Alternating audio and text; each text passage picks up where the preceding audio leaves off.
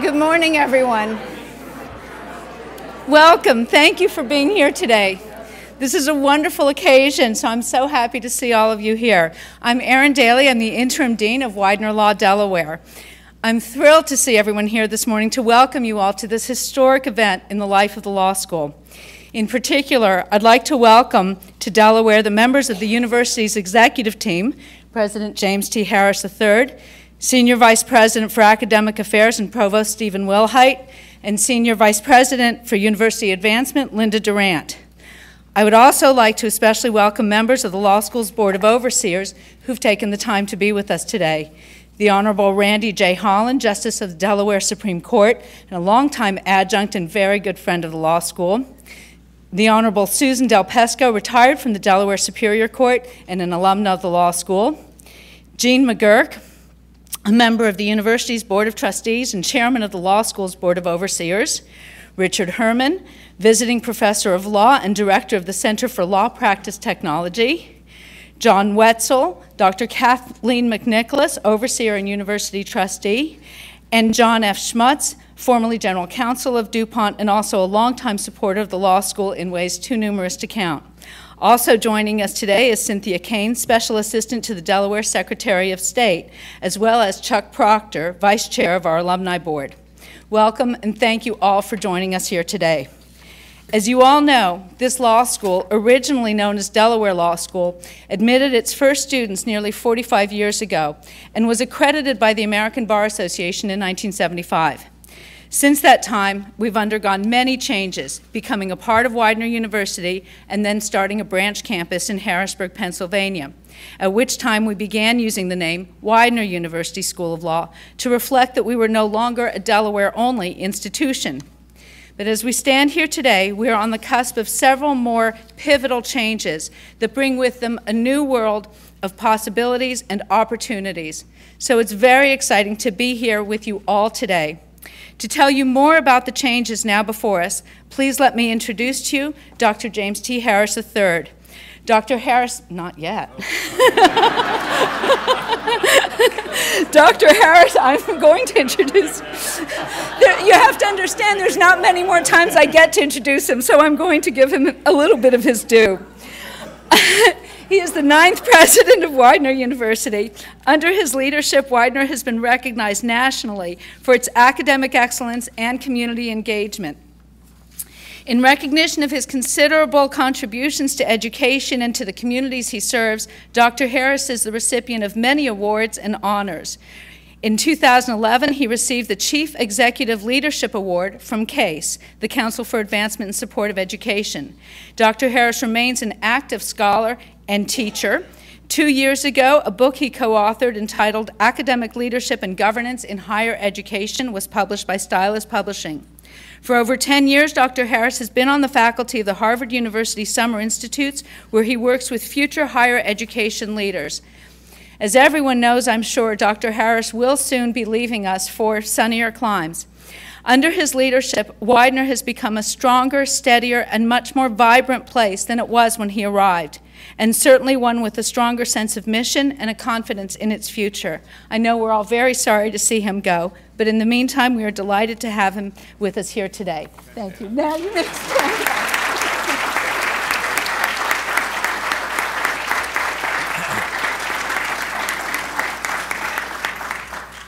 Thank you, Erin, for that very kind uh, introduction. And I, I, don't know if there's anybody happier about this announcement today than Erin, because she finishes her duties as co-interim dean uh, at the end of June and has done a fabulous job, and I'll get to that in just a moment.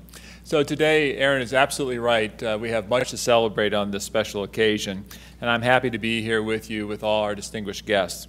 It was just about a year ago that we started down this road of application for acquiescence before the American Bar Association and it's been quite a year.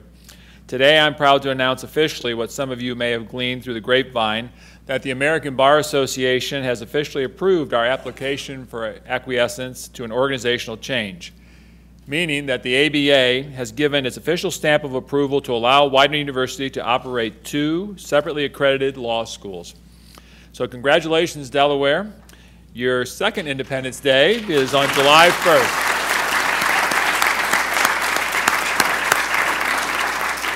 And we will be officially known on this campus as Widener University Delaware Law School, returning to the original name of the School of Law. As Delaware Law School, you will operate as one of eight schools within Widener University, and while you will operate independently of the law school in Harrisburg, we have plans to have the Delaware Law School collaborate with Harrisburg in the future. Uh, that school is now going to be known as Commonwealth Law School, as well as with other schools within the university and the central administration. What this will mean for students will be enhanced student services and educational offerings. In addition, we hope that independence will motivate more alumni who graduated from Delaware Law to become involved with the law school, and this increased alumni participation and involvement will benefit our students with more externship opportunities, more mentoring, and hopefully more professional connections that will help prepare our students for after graduation. You've told us repeatedly that the Delaware way of practicing law, which prizes civility and respect, is both a national model for how law should be practiced, it will now become an even more important part of Delaware Law School. As we become even better known for our embrace of the Delaware way, we can expect our students to be sought after by employers who will value the attributes they bring to the workforce. So, my friends, as we begin to talk about the Delaware way, it's important that everyone at Widener walk the talk by embracing civility and respect in our relationships with others so that this becomes the hallmark not just of Delaware law, but of the entire university. Establishing independence of the two law schools codifies the separate realities that have evolved over time. And this move will give each law school the dedicated leadership it needs to grow and to flourish. Our, law, our two law schools have developed different curricular approaches to legal education, and over time, they've grown to embrace unique programmatic strengths and identities. The official positioning uh, statement for Delaware reflects the strengths and unique position of this campus, and it now seems like an appropriate time to remind everyone of that, what we wrote uh, a few months ago with regard to the positioning statement.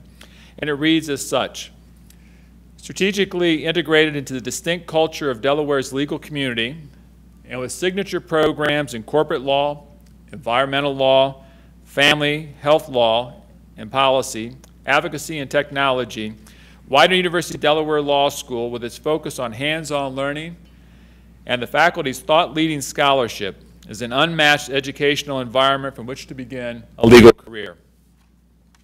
Many of you, students, faculty, and staff, participated in listening sessions that led to this positioning statement and to the new name of the law school, as well as the design of a new website, and I thank everyone for their hard work. A great deal of work did go into getting us to this point. The faculty and staff on the Delaware campus have worked diligently to make sure that the beautiful new Delaware Law website is up and running. It just was up and running two days ago. And it looks great, and if it wasn't for your hard work, uh, we wouldn't be able to be here in this position at this point. So I invite everyone to take a look at it at delawarelaw.widener.edu.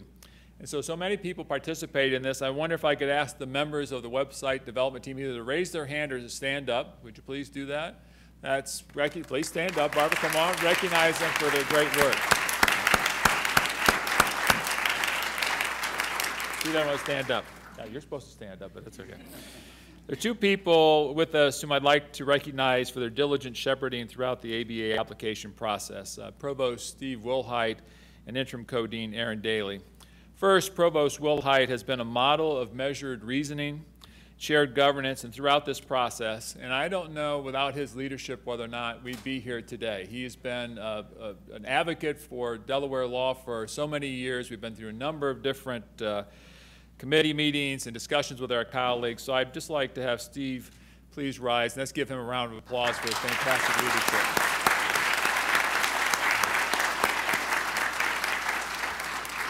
And Interim Co-Dean Erin Daly, if you'd please rise. And I want to thank her for her hard work this past year, pulling all the pieces together, stepping up at a time when we needed leadership on the campus. I want to thank you for your leadership, for your diligence, for all your perseverance in getting through this process, and I couldn't be more grateful for all of your strong leadership and your great work. So thank you very much.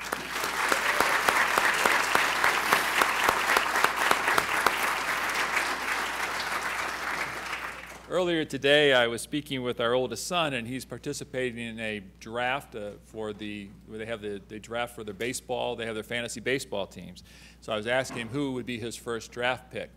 And I mentioned that because when we went through the search process, we were able to get our first draft pick. And we had a fantastic team that did that selection. I know that we have one of the co-chairs, Mr. Joe Baker, is not with us today, but Mr. Jim May, or Professor Jim May, and also members of the search committee. Would you rise and let's give you a round of applause and thank you for your great work on this.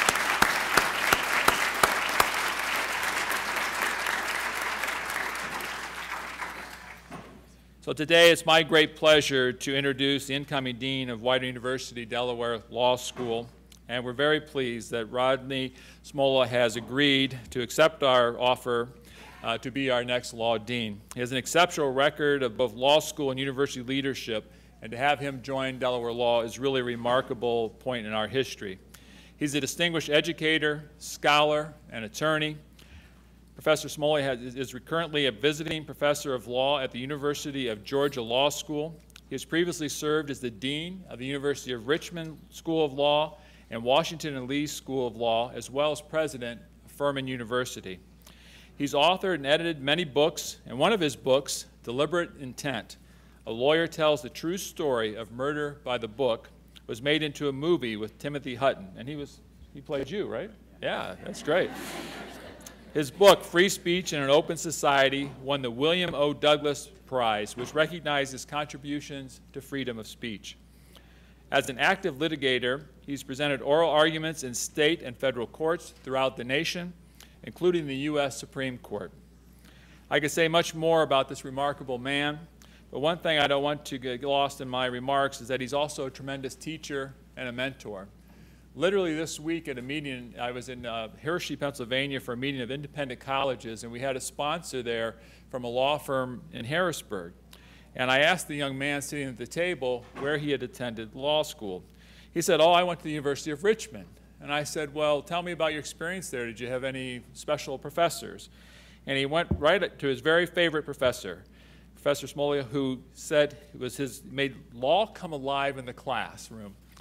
So today, our new dean, I know our students, faculty, and staff at the law school here are very excited to welcome to the Widener Delaware School, or Delaware, see, I'm going to get mixed up, Delaware Law School, Professor Rodney Smolla.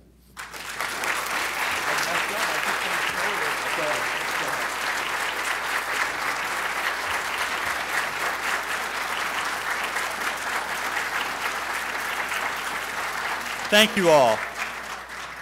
Thank you all very much. Uh, thank you, President Harris. I appreciate very much that gracious introduction. Uh, I'll miss the opportunity of getting to work with you, but I know you'll do great things for um, San Diego, and you've already done wonderful things here at Delaware. And I also want to thank Senior Vice President and Provost Steve Wilhite, uh, who co-chaired this process and uh, with whom I've already enjoyed working and look forward very much to working. Thank you for giving me this opportunity. Uh, Dean Erin Daly has done a wonderful job of recognizing uh, so many of the folks that are here, but I want to especially thank the members of the board and the Board of Overseers who are here, and, and Jean and Richard, both of you participated in the search process, and I appreciate your being here. And I want to especially thank uh, Justice Randy Holland for being here. You all know Justice Holland as a, a, wonderful friend of this law school and a member of this faculty. I, as an outsider from the, uh, Delaware, but soon to be moving here, uh, know him for his extraordinary not just national, but international um, reputation as a scholar and a leader of the profession and a wonderfully respected jurist. The state of Delaware is fortunate to have Randy Holland on its Supreme Court, and Delaware Law School is fortunate to have him as a faculty member, as a friend of the school, and I appreciate you coming here, Justice Holland. Thanks very much. Thanks to the members of the search committee who are here. You were wonderfully gracious to me during the process, and I feel so um, uh, fortunate that I will be uh, the dean here at the law school and get to strengthen our friendships. I want to very briefly talk to a number of different uh, uh, groups that comprise the community here. And I want to first talk to a group that I doubt is here in person, but perhaps through our friends with the broadcast media and print media and social media who will get this message. I hope you get to hear what I'm about to say I want to talk to those prospective students who have offers to come to the Delaware Law School and who must make their decision in the next few days or weeks as to whether to come. And my message is say yes.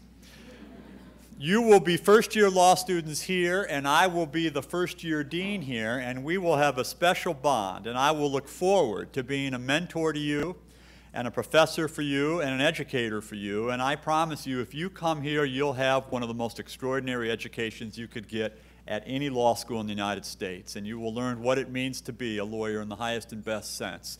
And so I hope you come, and I'm going to take every opportunity I have in the next few days and weeks to encourage you to come and be part of this uh, terrific institution.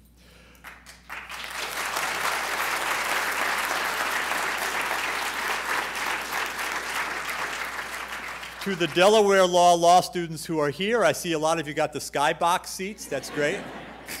That's for the big donors, right? for those of you that are here, let me say to you, I'm looking forward to being your dean. For those of you that are in your third year now and about to graduate and take the bar exam, whether you're taking it in Pennsylvania or New Jersey or Delaware or any state in the United States, I'll miss being able to be your first-hand dean, but I'll be your dean vicariously and hope I'll be in touch with you and we'll be with each other over the years as you enter the profession. I do want to give you this message. Whoops. You've worked hard You've worked hard, and there's a real temptation to tag go here at the end. You'll finish your classes, take those final exams, and you'll want to just relax. but you have one more big job to do, and that's to pass the bar exam, wherever it is. We want every single one of you to pass that bar exam, and we're going to do all we can to encourage you and support you in that. That's your ticket to this great profession. And so you've got a few more weeks to bear down after you have that celebration with your family members and friends and graduate. But that's your job, and I wish you the very, very best. To the rising third year students and rising second year students, I'll just say a few words to you. Uh, there's a wonderful old Army recruiting slogan that some of you folks remember. It was the Army's tagline for decades, I think be all you can be. And that's my hope for you as the dean, to help you be all you can be as law students academically, continuing to master the legal doctrines and the legal theories that are important building blocks for any lawyer. But much more than that, I hope that you can be all you can be in acquiring the skills it takes to be a competent lawyer, indeed to be an excellent lawyer. The writing skills, the research skills, the skills in communication, the counseling skills, the negotiation skills, the advocacy skills that it takes to serve the members of the public that will have their most important matters entrusted to you. And finally, and really most importantly, I look forward to working with my faculty colleagues and the others that are part of the profession that assist us in our educational mission to helping you develop professionalism. And I mean more than that than just courtesy, although that's a wonderful, important quality and professionalism, and more than that than just civility. At its soul, professionalism is developing professional judgment and realizing that what judgment means is the taking of the doctrines that we've helped you master and the theory that we've helped you master and the skills that we've helped you acquire and using them to serve, using them to solve people's problems, to solve the problems of businesses, to resolve conflicts, to make positive things happen in society and using them to give something back. As part of the launch of the new Delaware Law School, President Harris and others, you may know that there's a brand new website. And when you look to the faculty section of that website, you see that all the faculty members who are here have answered certain questions. And one of them is, what do I do to give back? And they each tell you in their own way. And that's an important part of what we're all trying to tell you as law students, that that's a critical part of what it means to be a lawyer in this society and a critical part of what it means to be a citizen in this society. To my faculty colleagues who are here, I'm looking forward to our collegial relationships, our professional relationships, to our dialogue as we grow as teachers and trade ideas with each other as to how we can be better teachers and mentors for these students. I look forward to encouraging you and supporting you in your research efforts and in your service efforts. This is a vibrant, intellectually alive, dedicated faculty, and I'm honored to be joining it.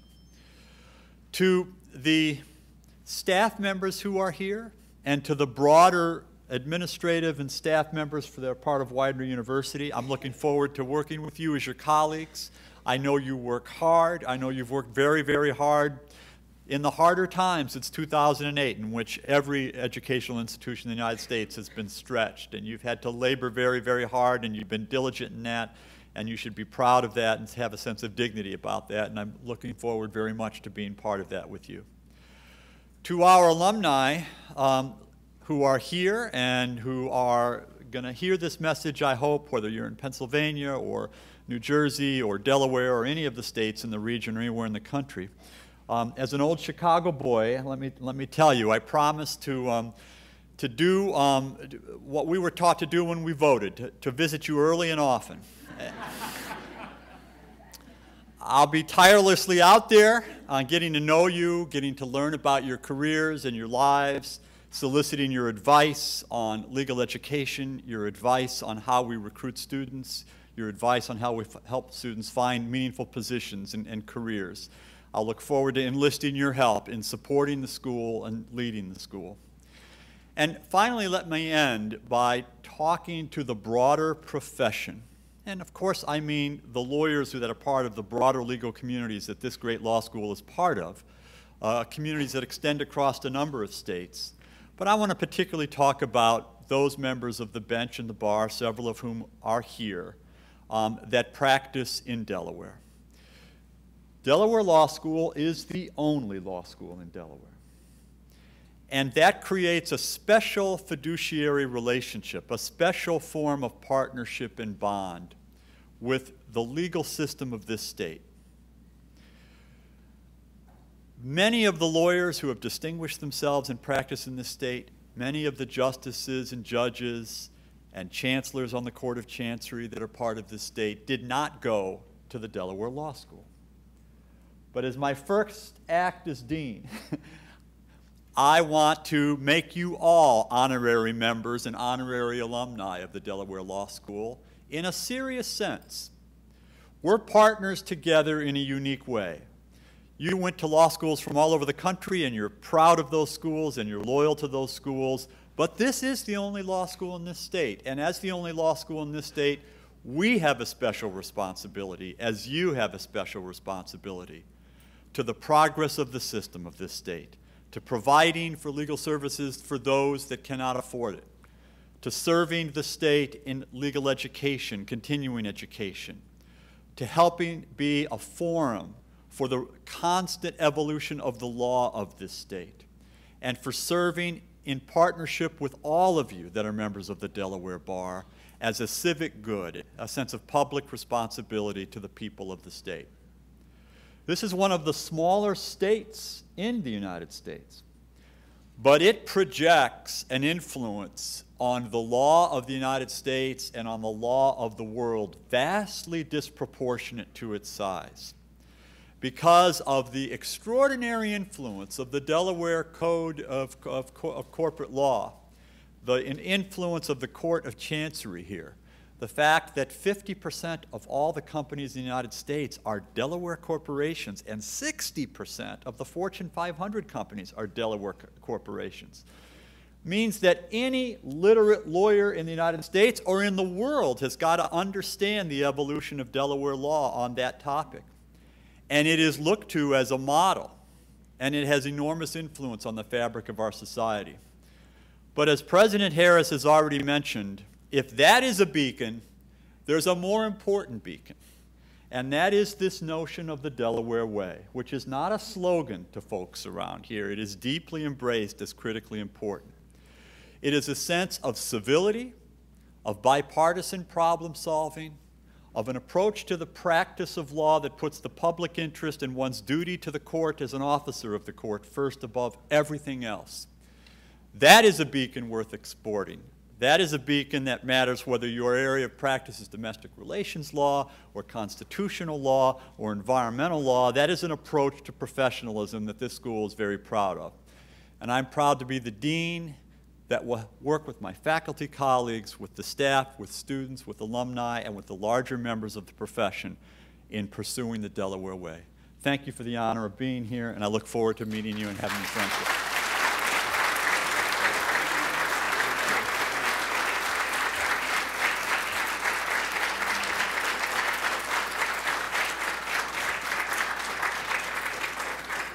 Dean Smolla, just a small token of appreciation and thank you. We are thrilled to have you as our new dean and look forward to the great things that are going to happen under your leadership. Welcome. Thank you. Thanks very much. Coffee. We'll stay here and answer any questions that you may have. And we're available to answer any questions that people might have. I think he gives the better answers, but Well, I don't know how your brackets are doing, but um, there are some there are there are some things that I'm a good at, and- but but not picking the NCAA Final Four. have any comments from anybody in the audience? If not, would just like well, please. congratulate the John. committee, and I am very impressed with your new team.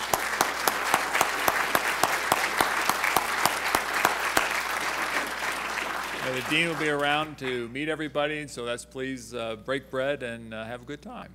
So congratulations.